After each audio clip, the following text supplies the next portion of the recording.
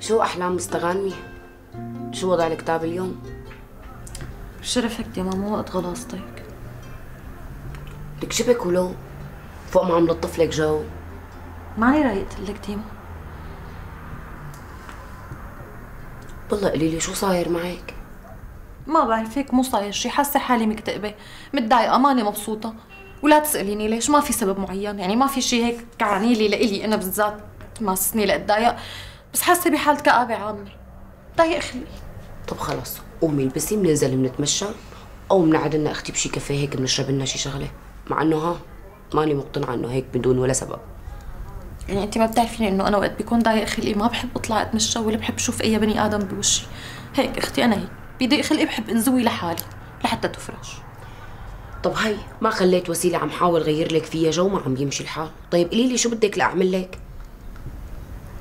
ما بعرف هيك. أنا عم بقرأ صفنت بهالكتاب. صفنت بالدنيا. أنا عن جد ماني مبسوطة. ولا شي بهالدنيا بس تطلعي حواليك بتلاقيه بفرح كيف يعني؟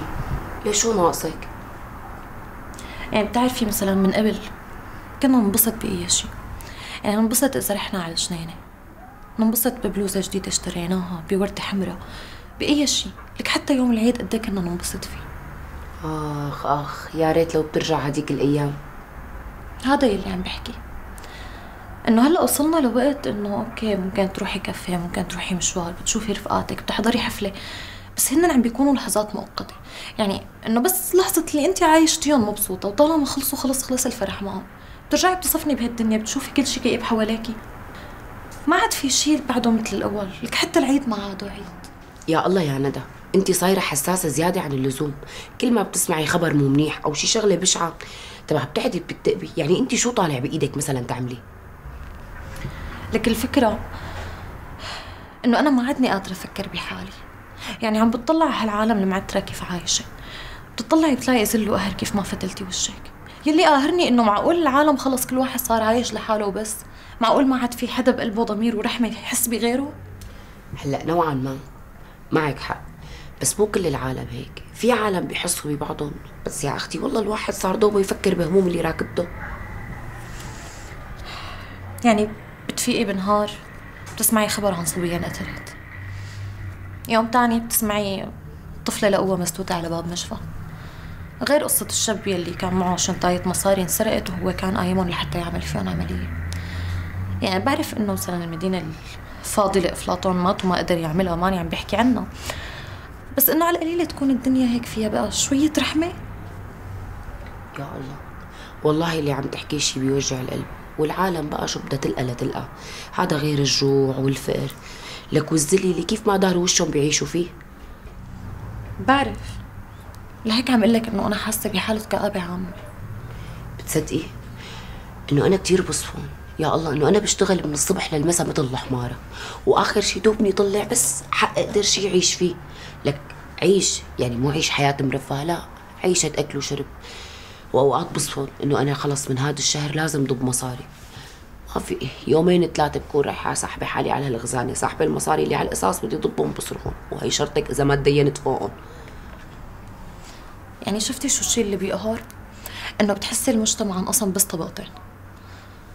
الطبقة الفقيرة يلي هي خلص عاشت كل حياتها بفقر وذل وتعتير ورضيانة بالواقع يلي هي عايشته لأنها ما فيها تطور شيء من حالها.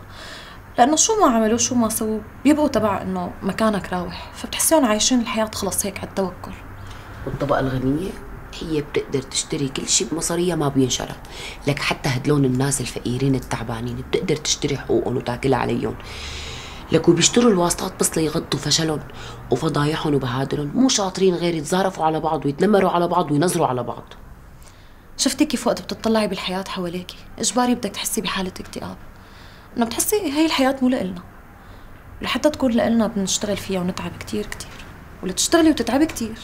بده يكون عندك مقومات وهي المقومات ما أنا موجودة.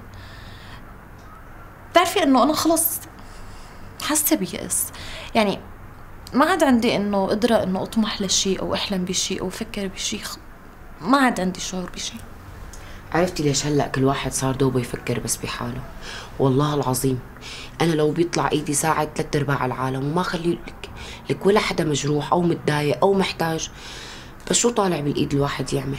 انت ستي بتعرفي؟ نحن لسه أحسن بغيرنا بكتير بكتير الحمد لله أكيد أحسن. بس الفكرة إنه انت يعني قد ما حاولتي تطوري من حالك وقت بتحاولي تقربي من إنك تلاقي نتيجة بتلاقي الحياة قالت لك إنه لحظة انت وين رايحة؟ وبتلاقي كفتت لك مجموعة مشاكل إلى أول ما إلى آخر. بتحسي شو ما عملتي مكانك رابح اي والله عن جد هيك عم بصير تماما.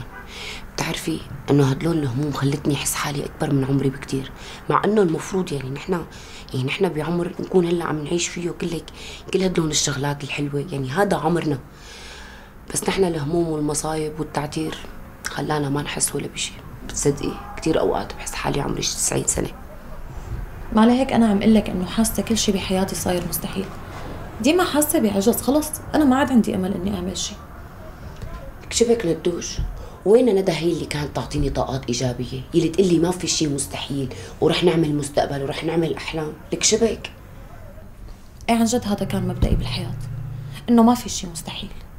كان عندي أحلام بدي اعمل اثنين وثلاثه لحتى تتحقق بس بعدين بتحلمي وبتتمني وبتخططي بتجي بتنصدمي بواقع. ما بتوافق ابدا مع أحلامك وطموحاتك فبتضطري آخر شيء تقولي بقى إنه مستحيل. بتستسلمي. يا ندى ليش كل هاد؟ الحمد لله انت وضعك منيح وشغلك منيح وصحتك منيح. لك شو بدها تقول هالعالم اللي أصلا هي ما لها ملاقيه شغل؟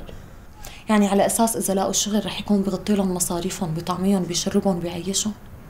لا والله بتعرفي؟ ما بعرف يعني أنا بحس حالي عم بشتغل بس مثلي مثلهم كأني ما عم بشتغل بس عم باكل وأشرب هيك. عايشة عيشتي مثلي مثل الحيوانات. يا حبيبتي يا ديما الله يقطعني شو بيمي لأني فايقة من الصبح منكرة. نزعت لك مزاجك. ليكي قومي نشوف شو صار فيلم أصحاب ولا قاعد إيه مكسر الدنيا على النت. لا لا لا لا. ما بدي لا أسمع أخبار ولا هذا تنمر على هاد ولا هذا علق على هاد. قومي تلحلى يمينا كاستين مثل نحضر لنا شي فيلم كوميدي. هيك نغير فيه عن نفسنا من جو هالاكتئاب بتعرفي؟ عن جد صار وقت عم بفتح Face وشوف العالم كيف عم بتعلق لبعضها. يا الله شو شي بيزعل. طبيعي قديش صايرين بيجرحوا ببعض وما همهم مشاعر بعض. كومنتات كتير مؤذية. ما انت لا تعرفي شو صاير بهي البلد بدك تعرفي أهل هالبلد شو عم بيحكوا وكيف عم بيتعاملوا. لكن بتعرفي شو؟ أنا قايمة أعمل كاستين متة وانت قومي دوري على الفيلم لأنه شكلها بدها تقلب قعده تنكيد تضل بعد ثلاث أيام. اي والله عن جد. قومي قومي. تضربي لي زعتي لي مودي. الصبح فايقة كنت رايقة.